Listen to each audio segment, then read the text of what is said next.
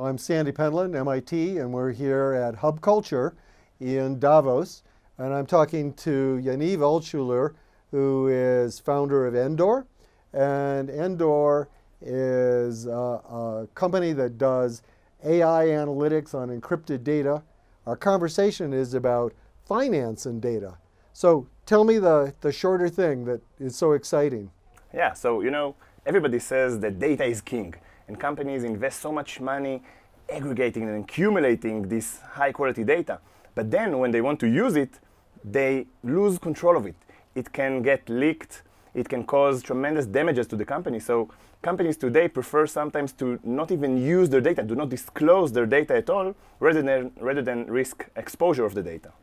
So what you're able to do is you're able to take different people's data and ask, well, from an AI perspective, what's the value of this data? Can you look at trends or fads or catastrophes, but without exposing the data because you never decrypt the data, right? Exactly. So our uh, system can absorb data from multiple sources given to us in a completely encrypted way so that nothing from the raw data is getting disclosed.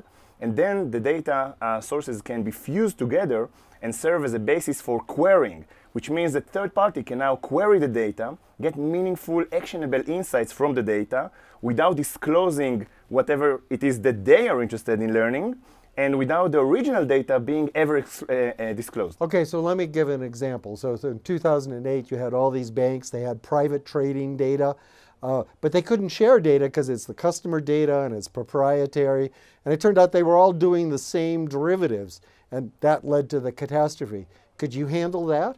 Yes, this is actually a perfect example because when you let, you let uh, banks and financial institutes um, basically onboard their data while still maintaining a guaranteed privacy of the data, the centralized service can then detect correlations, trends, the emergence of bubbles without ever disclosing anything from the original data.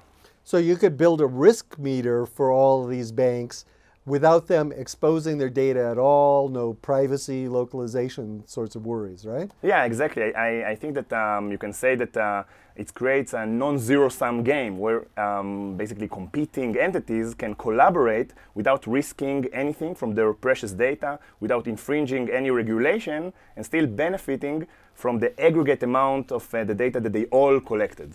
Okay, that sounds fantastic. I think uh, go to endor.com or the MIT site, trust.mit.edu, and you'll see all the bits and pieces and know how to follow up. So thank you from Hub Culture at Davos. Thank you, Sandy. Thank you, Hub Culture.